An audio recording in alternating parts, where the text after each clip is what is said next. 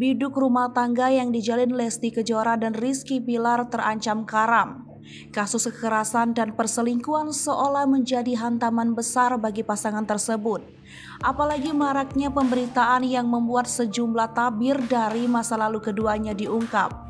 Menyoal isu hangat tersebut, sang suami Rizky Bilar mengaku jika memang sempat ada pertengkaran di antara mereka.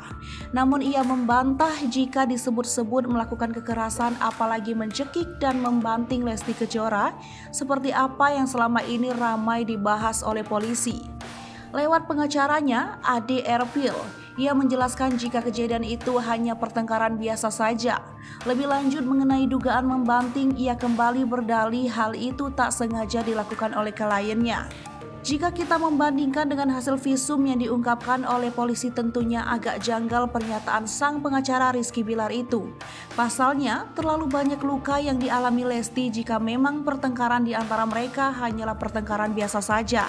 Polisi pun mengatakan jika sudah ada unsur pidana pada kasus tersebut dan jika alat bukti sudah lengkap maka mereka akan segera menentukan tersangkanya. Sesuai dengan pasal 184 KUHP, Atas kasus tersebut Rizky Bila terancam hukuman penjara selama lima tahun.